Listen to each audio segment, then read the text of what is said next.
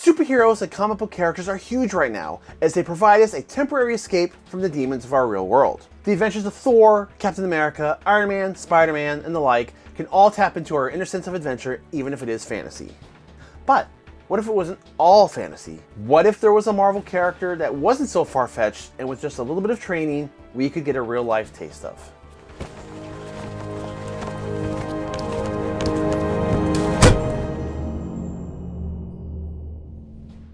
Okay, I admit, maybe I'm sensationalizing this just a little bit, but only slightly. Daredevil has taken a more of a frontlight role in the Marvel Cinematic Universe in recent years, and it's not hard to see why. Sure, there was that Ben Affleck movie years back, but the Netflix slash Marvel show gave us a Daredevil, aka Matt Murdock, that we could actually empathize with.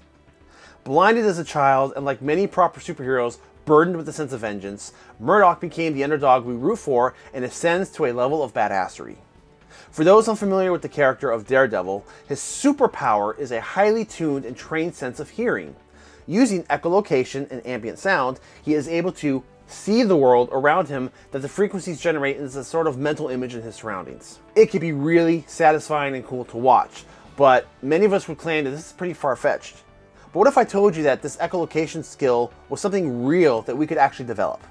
In this episode, we're going to take a quick look at what this skill is, meet a few people who wield it in real life, and then look at how we can develop the skill ourselves. Echolocation is a skill used to find the location of objects by reflecting sound, particularly that, like that used in animals such as dolphins and bats. Sonar works on the same principle.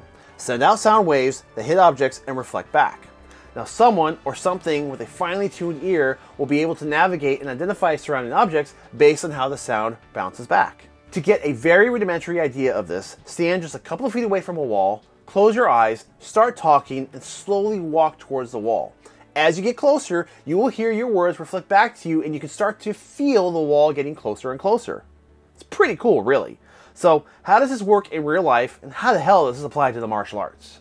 There are already some fascinating individuals who have developed the skill out of necessity and a desire to live a more functional life. First, let's meet Ben Underwood. When he was just three years old, Ben had to have both of his eyes removed due to retinal cancer. But what is remarkable about Ben's story is that by the age of five, he had taught himself how to use echolocation to navigate his environment. By making sharp clicking sounds with his mouth, he was able to get a sense of surroundings based on how the sound reflected back to him. He developed this ability so well that he did not have to use a cane, and he was able to run and navigate around the house, including using stairs without having to hold onto the handrail. He became so adept at this that he was even able to play basketball, rollerblade, and ride a bike. Using these clicking sounds combined with ambient sounds around him, he was able to paint a picture in his mind that allowed him to, well, see, at least mentally. Unfortunately, his cancer returned when he was 16 years old and Ben passed away. But his story leaves behind an incredible lesson in how a person can overcome what seems like a crippling challenge and still lead a happy and normal life. And Ben is not alone. There have been several people out there who have developed the skill to such a level that they've become the subject of studies and have inspired many people to learn the craft of echolocation. One of the more notable examples is that of Daniel Kish. Also suffering from retinal cancer, Daniel had both of his eyes removed by the age of 13 months. Much like Ben Underwood, he grew up using echolocation and clicking to navigate the world around him. He became so proficient at the skill that he became the first blind person to become a certified orientation and mobility specialist and to hold National Blindness Professional Certification. He also holds a degree in psychology, leads training programs to teach people how to use echolocation, and even recently did a brief TED Talk giving us a little glimpse into his world. And I do encourage you all to check it out. It's fascinating, and I've included a link down below in the description. In this talk, he said something that I found quite striking. He said that it is impressions about blindness that are far more threatening to blind people than the blindness itself. He and others who have mastered it describe it as using sound to see a vague geometry of the world. With enough practice, a person using echolocation can detect where objects are around them, the size, general shape of the object, and often the orientation. So much like we see in Daredevil, they see a rough visual outline in their mind of what's around them. Even more impressive, Daniel Kish said that by utilizing sound, he can see 360 degrees around him, around corners, and sometimes even through objects. So how does this relate to the martial arts? Honestly, a lot of our objective here with the channel is to recognize challenges and try to offer or share solutions to those challenges. This topic reminds me a lot of one of our early viewers who I haven't seen comment in a while and I hope you're still watching here because I found you to be a great leader of this example. He had reached out to me and we had a great discussion. He was blind, but still dedicated himself to training in the martial arts. Grappling arts obviously work the best because once you make contact with a person, you can now register their more subtle movements. Someone proficient in BJJ will fold you in half even with their eyes closed because they can feel the nuances. Your movements telegraph your actions and they know how to read tactile body language. So that's what our reviewer was telling us. He even recounted the story in which he was walking home and someone tried to rob him and take his wallet from his pocket, but once the contact was made, he was able to counter with a judo takedown that took his attacker by surprise. But here's where his true boldness stepped up. He was also taking boxing. Boxing. I think we can all understand the challenge there. He told me it was a terrifying experience to spar because you really can't read those strikes coming in, but he was really trying to get himself mentally past the fear of getting hit and in recognizing patterns and hopefully learning how to move in response or in retaliation to a hit once contact was established. Honestly, that is not far off from Daredevil.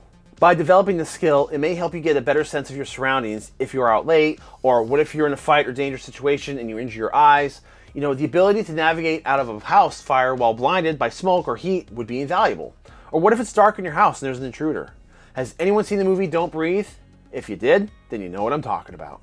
I also used to run a game slash exercise a few years back when I was teaching kids classes um, very briefly, we did an episode on this, so if you want to check that out, you know, click on the link here in the description. But basically, we called it the Ninja Game, and we set up like a rudimentary castle setting. You know, we used all the all the wave masters, the mats, and the kiki shields. We made like this castle with a river and, and obstacles to move around and one kid was designated as the ninja, and their job was to infiltrate the castle and try to steal whatever the prize was. You know, it was usually just some sort of a, like a little token or whatever. But we would put in maybe four, five, six, seven other students, and we would blindfold them, and we gave them the little padded swords. So basically, they were guarding the castle, and it was the ninja's job to sneak it around all the objects, climb over stuff, climb under stuff, get in, take the trinket, whatever the prize was, and try to escape without getting caught and the other four or the other students that were there standing guard, their job was to listen. And the second they heard the person, they were trying to tap them with the sword. If the ninja got tapped with the sword, they were out. Doesn't seem too hard, except we made the ninja wear a bell. So if they moved too hastily or too fast or made the wrong move, it would jingle and it would alert them. So they basically they were all navigating off a sound. It was really fun. The kids had a blast with it, and it was really interesting seeing them try to strategize and kind of work on their movements and try to get around obstacles while the other students were trying to really listen. They were using that sense of hearing and in some form of echolocation to try to find the infiltrator. Now, if this is a skill that you want to develop yourself, the good news is you can. It just takes learning how to interpret audio stimuli into a different way. Now, there are programs that will train you how to do this and how to become proficient at it, and I've linked an article to the Smithsonian Magazine below for those of you who want to read more about that. But start off by doing small tests. Close your eyes or blindfold yourself and then making clicking sounds to try to test yourself to first identify objects in front of you and then try to judge how far away they are based on the sound reflection. Of course, please keep it safe. Be careful with stairs or any hazards in the house practice with a friend or family member, and see if you can pick up on any subtle mental imagery as you harness the power of echolocation. If you want to apply this to a sparring session, well, get a partner, again, being safe about it, blindfold yourselves, and slowly try to use the sound to find the other person.